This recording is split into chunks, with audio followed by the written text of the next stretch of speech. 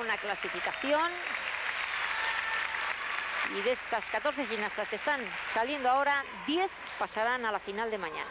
Está la infanta Pilar viendo la competición de rítmica junto a Laura Muñoz. Jennifer Colino tiene que estar en la final mañana.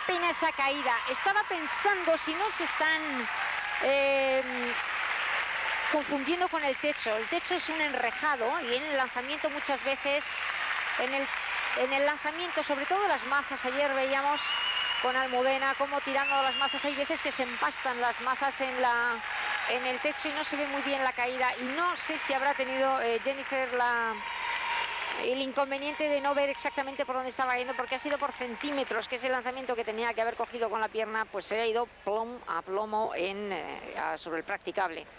En fin, susceptible de arreglarse. Hoy evidentemente la competición mm, eh, importa en tanto en cuanto no hay que quedarse entre las últimas porque evidentemente son mañana las notas las que van a dar las medallas. Hoy es una jornada de calificación sencillamente.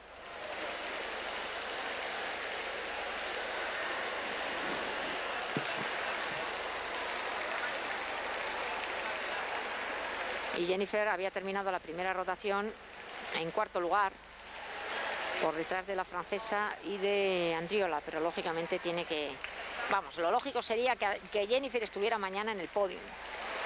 Luego, la apuesta era las dos españolas y la griega. Vamos a ver si la francesa mantiene el ritmo que ha estado llevando hasta ahora, que ha estado por encima en la primera rotación de lo habitual. Le dan a Jennifer 5.700 en la dificultad, 9, 6, 9, eh, perdón, 6.450 en la parte artística, 7.700 en la ejecución.